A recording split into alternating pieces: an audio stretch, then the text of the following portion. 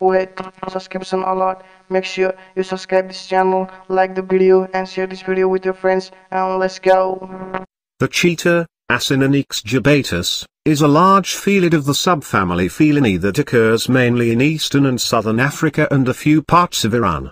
It is the fastest land animal.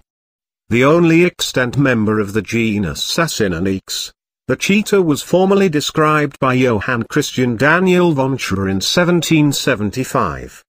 The cheetah is characterized by a slender body, deep chest, spotted coat, small rounded head, black tear-like streaks on the face, long thin legs and long spotted tail. Its slightly built, slender form is in sharp contrast with the robust build of the big cat, making it more similar to the cougar.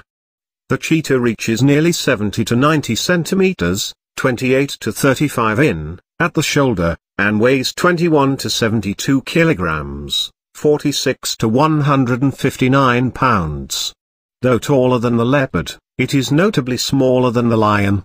Typically yellowish tan or rufous to grayish white, the coat is uniformly covered with nearly 2,000 solid black spots.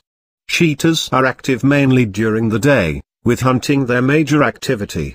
Adult males are sociable despite their territoriality, forming groups called coalitions.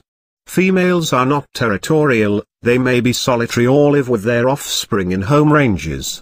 Carnivores, cheetah mainly prey upon antelopes and gazelles. They will stalk their prey to within 100 to 300 meters,